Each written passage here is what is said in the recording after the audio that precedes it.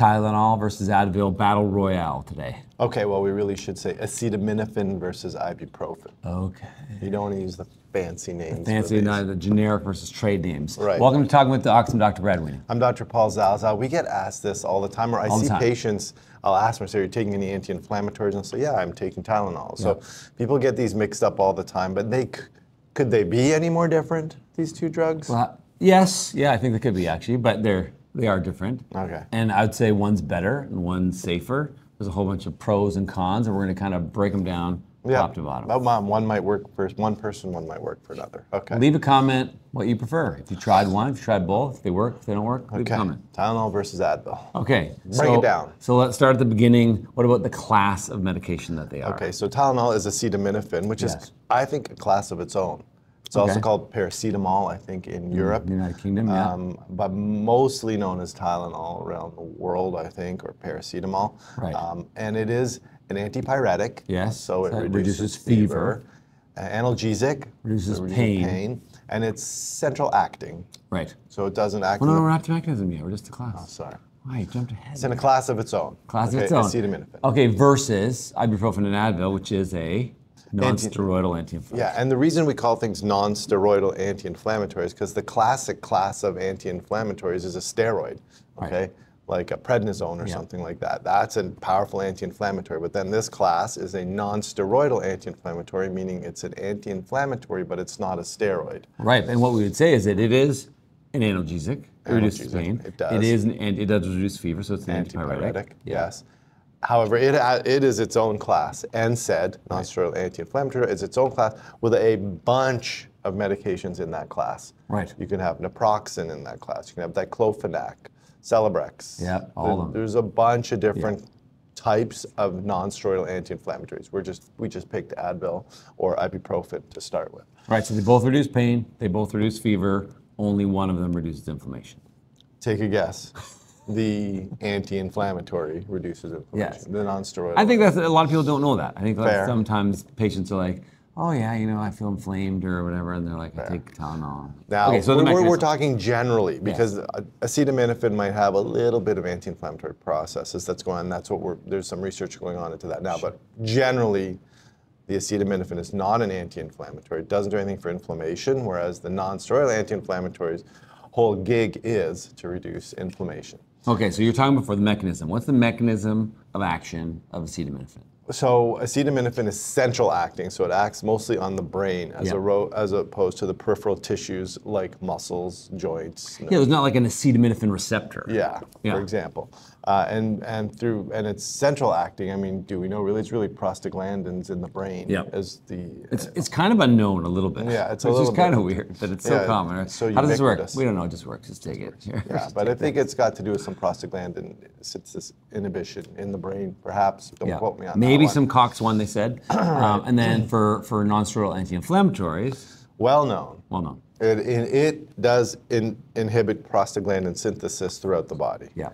And prostaglandin synthesis is one of the steps in the inflammatory pathway that Right. leads to redness, pain, swelling. Right, and particularly the COX-1 and the COX-2s, and then they started to work to make them more specific, just either Yes. to, reduce some of the side effects. Right. Then you'll have some more COX-2 specific ones in the more recent anti-inflammatories. Right. Okay, so let's go to uses. So when Okay. people are thinking, I have this problem, I'm Mm-hmm. going to try Tylenol or acetaminophen, what kind of problems are we thinking about? So I think generally, and there's a lot of overlap in these Yes. uses, but generally, if you're thinking about like headaches, Yep. those kind of pains, that's Yeah, more of a the Tylenol. Whereas your musculoskeletal pains, you're more thinking of an anti-inflammatory in general. Yeah. But there's a ton of overlap. Right, but you got like a swollen ankle because you sprained your ankle, Yeah. or you have arthritis. You're probably thinking more on the inflammatory, anti-inflammatory side. Totally agree. However, and post-operatively, we do prescribe both actually. Right, and we've talked about this before. Yeah. Multimodal treatment. Yeah, multimodal. We use acetaminophen and a non-steroidal anti-inflammatory, at least for a short period of time. Yeah. After And now we there's uh, the the combo or combo, there's preparations with Yeah. both of them mixed together. Yeah. Okay, so let's talk about how long it takes for to work. Someone might say, "Oh, well, there's Tylenol arthritis. What's the deal with that?" Well, you just learned me. That basically is still acetaminophen, just rebranded and remarketed in a different way. Maybe there's like a slow release component to it or something like that. But at the end of the day, Tylenol arthritis is still your same Tylenol that you're taking or oh, your same acetaminophen or paracetamol that you're taking. Right. Uh, okay. Time to work. Who's gonna, which one's going to work faster? Okay, so acetaminophen probably has a quicker, Yeah. a like- little bit, half within 30 minutes. I think is the idea with acetaminophen, whereas 30 to 60 minutes, I think, is more of your non-steroidal anti-inflammatory. Yes. Okay. Might be by way of just being central acting. Yeah, probably still not the best reason to, to choose it, but No. whatever. Um, duration of action is one work longer than the other, and I think all of them have longer preparations. Yeah, you can get longer preparations, but in general, your acetaminophen is every four to six hours you're going to take it, Yep. whereas your non-steroidal is going to be more like six to eight hours. Right, and dosing obviously is very specific for each of them, uh, related to your weight and then your other comorbid disease potentially. Right. So that leads us in. Let's talk about risk. We did separate videos about each of these on the risk have. because there are so Yeah. many of them. We have, and I think I think this the risk profile favors one of these much more than the other. Yeah, I would. agree. say. I would agree. I would say that acetaminophen, Tylenol, or paracetamol is much safer to take Right. than a non-steroidal anti-inflammatory like Advil, Aleve, or naproxen, or ibuprofen, or diclofenac, or Celebrex, or something like that. It's a long list. Reason being, because of the way, one of the main reasons why there's such a difference in the risk profile is the way they are excreted or got your body gets rid of them, right? Yep. Generally, your body gets rid of stuff using your liver or your kidneys or a combination of both. In this way, it's easy to remember acetaminophen is liver, non-steroidal anti-inflammatory is kidney. Yeah. Okay, so the damage that can be done by these drugs is by way of how they're excreted. Yeah. So long-term use of acetaminophen, maybe even not that long-term use, but overuse or abuse will lead to hepatotoxicity or liver damage. Yeah. Whereas the anti-inflammatory use, long-term use, maybe even not that long-term use, can lead to renal damage Renal damage. kidney failure. Yeah. Okay. And now the non-steroidal anti-inflammatories also affect many other systems Yeah, in your body. unfortunately body. for them. Okay. Yeah. So kidney damage, and that's manifests that's manifests as like giving you kidney problems, hypertension, Yep. right, as a result of kidney damage. It can affect your cardiovascular system. Heart attack, stroke. damage to your cardiovascular system and stroke as well. And the other big one with the non-steroidal anti-inflammatory is your gastrointestinal tract or your GI tract because it can, by way of its mechanism of action, lead to the development of ulcers. Yep. Hole in the lining of your stomach. The or in GI small tract, intestine. yeah, you get an ulcer. Uh, and that obviously can be fatal. Right. Um, so you're affecting a lot more organ systems with the non-steroidal anti-inflammatory.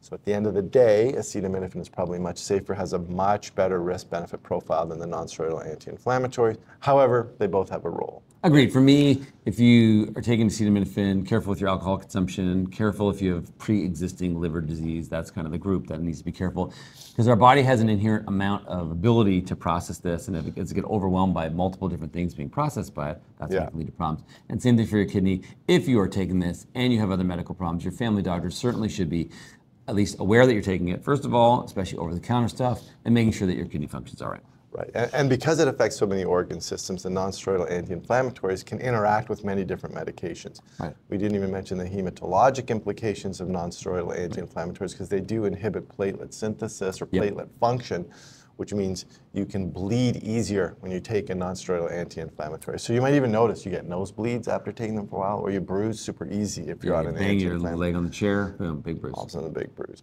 right? And so therefore, if you're on some other form of blood thinner, there's going to be an interaction with the non-steroidal anti-inflammatory, Yep. big time. Okay. Um, special groups. So what about in pregnancy? So say you're pregnant, you got a headache. Okay, I'm pregnant. I got a headache. Okay. I, that's prob- that's the least of my problems if I'm pregnant. But yeah, okay. Fair, fair, okay. And you're like, okay, what can I take over the counter that's safe for me and safe for my for my baby? So generally, we try and avoid non-steroidal anti-inflammatories in Yes. pregnancy, Yes. especially in the third trimester, Right. whereas acetaminophen is much safer right. during pregnancy. I would say still discuss it with your doctor and definitely, Definitely. try to take as little as possible. Yeah. Okay. exactly. So on continuing on the baby theme, what about for kids? For- okay, so there's pediatric dosing available for both of these 100%. medications, and you definitely want to stick to the pediatric dosing if you're going to use these medications. Yeah. Um, uh, but I think they're both there there are both there are children's preparations of both of these. Yeah, it seems like for ibuprofen and Advil anti-inflammatories, they like the kids to be a little bit older, Maybe like six over six months. Yeah. Um, I, I Six think- months or yeah, six six months. Yeah, okay. six months. Mostly because I think of the developing kidney. But Okay. but I think generally just take it as um, recommended. Talk to your pharmacist or your doctor if you're concerned. Absolutely. Now you know. Yeah, yeah, and then of course, if you have a history of hypertension, peptic ulcer disease, Sure. coronary artery disease, stroke, those kind of things, you have to be super careful with a non-steroidal anti-inflammatory. You've probably been told, many of you have probably been told by your doctor, don't take NSAIDs Yeah. for because of certain conditions you have. It's very, very, very less likely that your doctor has told you don't take acetaminophen. Agreed. However, we were surprised when we did our video about the side effects Mm. Sure. of Tylenol and acetaminophen. I, I thought it was way safer than it was. So Yeah. I, I backed off on my push No, for that kind yeah, of stuff. exactly. And now let's specifically talk about us. We're orthopedic surgeons. We see people with arthritis all the time. What does the research say about Yeah. controlling pain related to arthritis with these two classes of medications? Is one better than the other? Generally, the well, we've always thought that the anti-inflammatory is better than Yeah. the acetaminophen for controlling pain. Yeah. Um, however, uh, there's a lot of different working groups that do recommend starting with acetaminophen. Right. But not because it's better. No, because it's it's safer. safer. Yeah. Yeah. So I'd say generally speaking, I think most of the data would be in agreement saying that anti-inflammatories reduce pain in a more effective way, Mm-hmm. but at a significant cost. And then what's interesting too about the anti-inflammatories is that they all work about the same. A lot of people think, well, I'm getting a prescription Yeah. one, or this one's more expensive, or this one is reduces my side effects. Often the side effect profile has changed, but the efficacy has actually not changed mm. from whether, like Advil, ibuprofen, you know, Aleve, naproxen, Celebrex, they all actually have about the same efficacy for reducing Yeah, pain. they're all sort of following the same path. Yeah. Do you take? Can you take an anti-inflammatory? You- Can I? Did do you yeah. So I, I can, I don't. I'd say generally I try to avoid them, even with my stupid Achilles tendonitis that I have from stupid pickleball. Right. I right. don't take them. No. No. Yeah, I've tried. Uh, I mean, I can only take it one or two days in a row. And, no, it how does- start- it my stomach. Oh, you get like reflux. Mm-hmm. Yeah. Yeah. Yeah. you I don't start to bleed or anything like that, but it Sure. myself. The other thing to consider is a topical. Topical Yes. anti-inflammatories can be as effective as oral anti-inflammatories and are much, much safer. There you go. If you like this video, please like it, subscribe to our channel, leave a comment, forward it to someone that maybe you think would be benefited by knowing this stuff. You might have known this already, you may not have, but like here talking with docs, there's no question that's too silly to ask. There you And go. that was the question we wanted to answer today. Nice. Remember, you are in charge of your own health. I'll see you next time.